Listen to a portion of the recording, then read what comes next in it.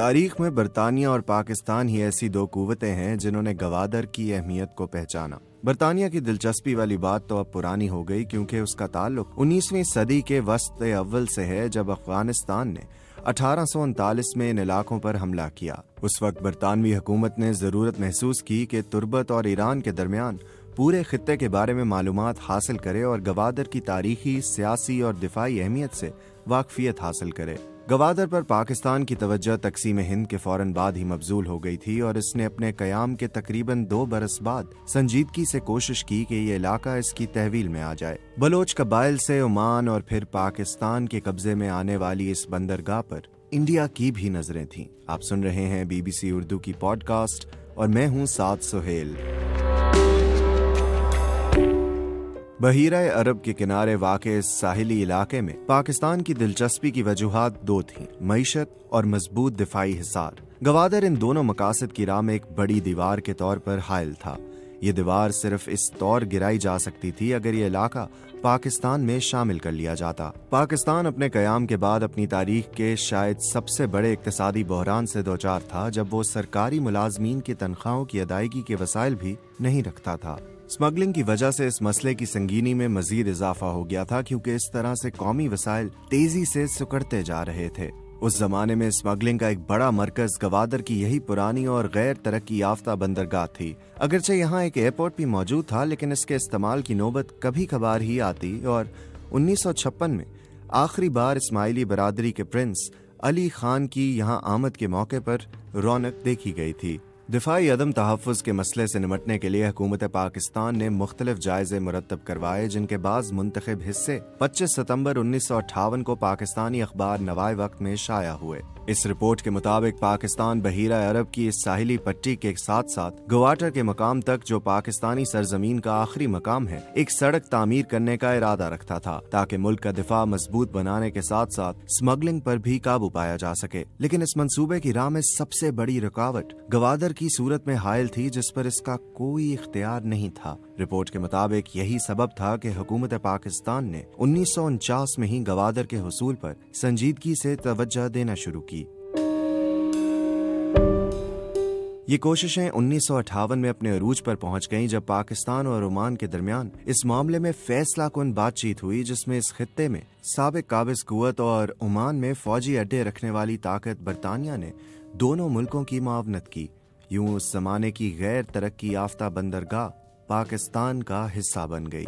پاکستان میں گوادر کے انضمام کا اعلان اس وقت کے پاکستانی وزیر اعظم فیروز خان نون نے پارلیمان کے اجلاس میں کیا اور قوم کو بتایا کہ عمان کے سلطان اعلیٰ حضرت سعید بن تیمور نے یہ علاقہ خیر سگالی کے جذبے کے تحت بلا معاوضہ پاکستان کے حوالے کیا ہے، جو نسلی، لسانی، جغرافیائی، تاریخی اور فطری طور پر پاکستان کا حصہ تھا۔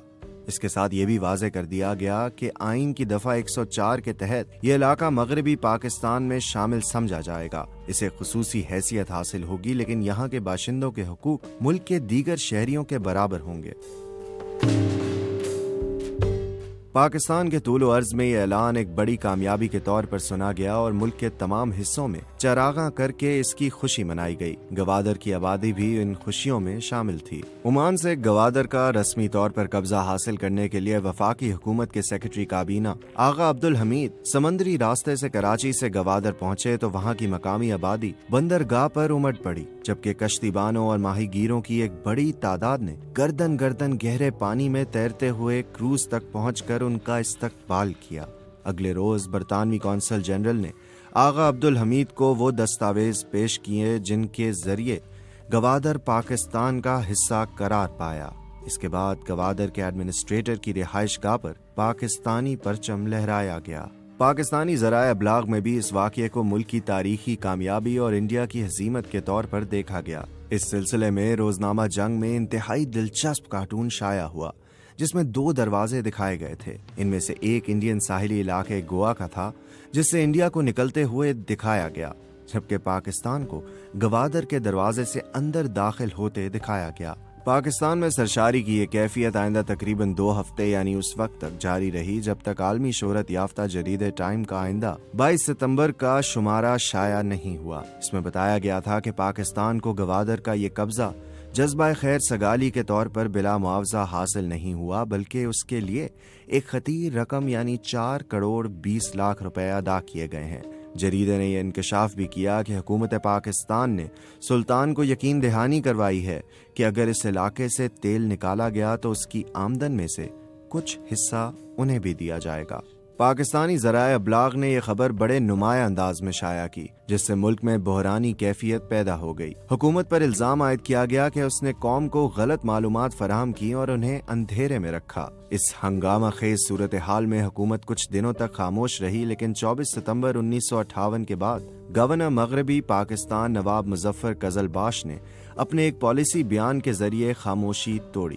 اس سے ٹائم میگزین کی خبر سے شروع ہونے والی بحث کا بھی خاتمہ ہوا اور اس معاملے میں ایک نیا پہلو بھی شامل ہو گیا یعنی گوادر کے حصول کے سلسلے میں انڈیا کی دلچسپی سامنے آئی۔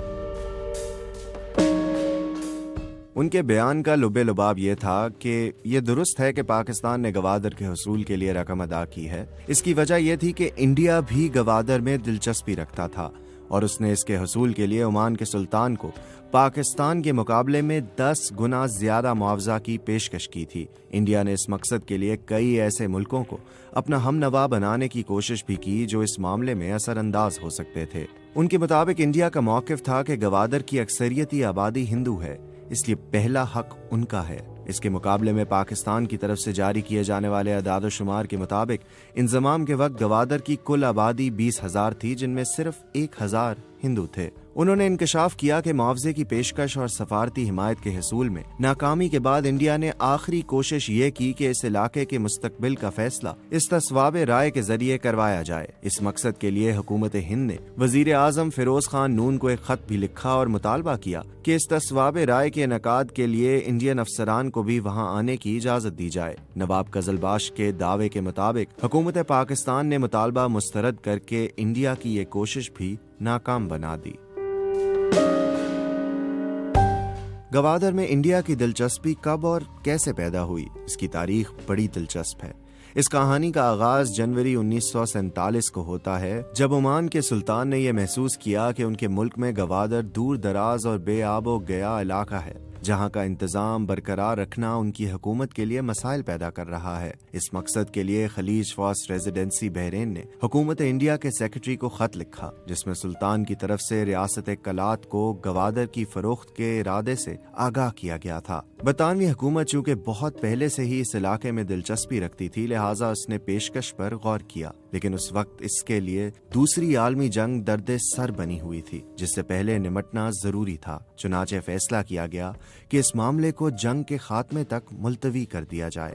گوادر کی تاریخی اور جغرافیائی حیثیت کے بارے میں حکومت پاکستان کی رپورٹ کے جو حصے شائع ہوئے، ان میں سب سے زیادہ زور اس بات پر دیا گیا کہ ریاست کلات اس علاقے کی کبھی مالک نہیں رہی۔